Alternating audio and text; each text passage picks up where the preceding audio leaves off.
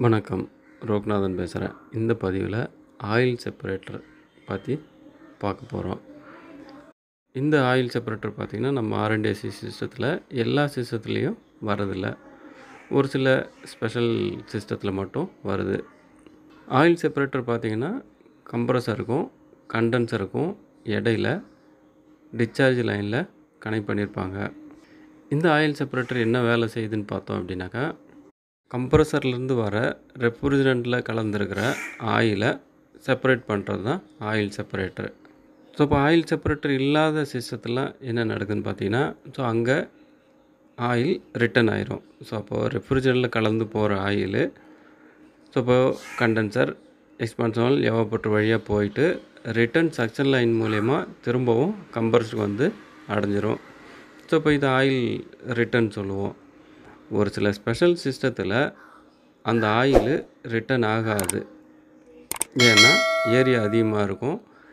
Water cooled condenser அதே மாதிரி shell and tube type எவாப்ரேட்டராக இருக்கும். ஸோ இந்த மாதிரியான சிஸ்டத்தில் ஆயில் ரிட்டன் ஆகாது. ஸோ அப்போது ஆயில் ரிட்டன் ஆகாததுனால கம்பர்ஸரோட ஆயில் குவான்டிட்டி குறையும். ஸோ இதை அவாய்ட் பண்ணுறதுக்கு நம்ம டிஸ்சார்ஜ் லைன்லேயே ஒரு ஆயில் செப்பரேட்டர் கனெக்ட் பண்ணி ஸோ இப்போ ரெஃப்ரிஜரில் கலந்துருக்கிற ஆயிலை நம்ம பிரித்து எடுத்துடுறோம்.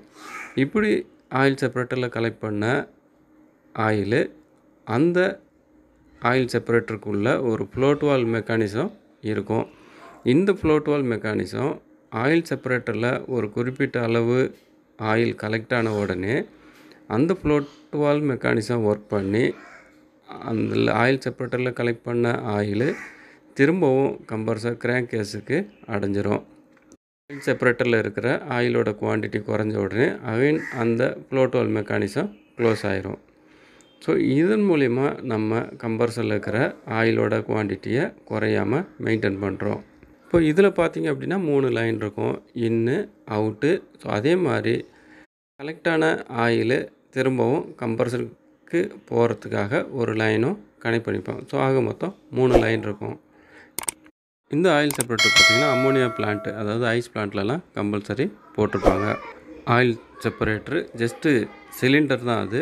ஸோ அப்போ அது கம்பர்சர்லேருந்து போகிற ஹை ப்ரெஷர் ஹை டெம்பரேச்சர் ரெஃப்ரிஜரண்ட்டில் கலந்துருக்கிற ஆயிலை மட்டும் அங்கே பிரிச்சுட்டு பியூர் வேப்பர் ரெஃப்ரிஜரண்ட் மட்டும் கண்டென்சருக்கு போயிடும் ஆயிலோட டென்சிட்டி வெயிட் அதிகன்றதுனால அந்த ஆயில் ஆயில் செப்பரேட்டர் கீழே தங்கிரும்.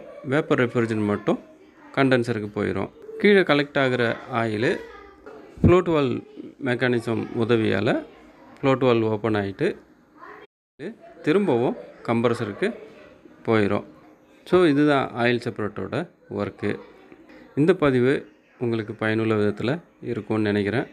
இது வரைக்கும் வீடியோவை கட் பண்ணாமல் பார்த்த அனைவருக்கும் நன்றி. என்னோடய சேனலை இது வரைக்கும் சப்ஸ்கிரைப் பண்ணலைன்னா சப்ஸ்கிரைப் பண்ணுங்கள் மறக்காமல் பெல் பட்டனை ப்ரெஸ் பண்ணுங்கள் வீடியோ நல்லா இருந்ததுன்னா லைக் பண்ணுங்கள் ஷேர் பண்ணுங்கள் கண்டிப்பாக கமெண்ட் பண்ணுங்கள் சக நண்பர்களுக்கு ஷேர் பண்ணுங்கள் மீண்டும் அடுத்து ஒரு நல்ல பதிவில் சந்திப்போம். வணக்கம்.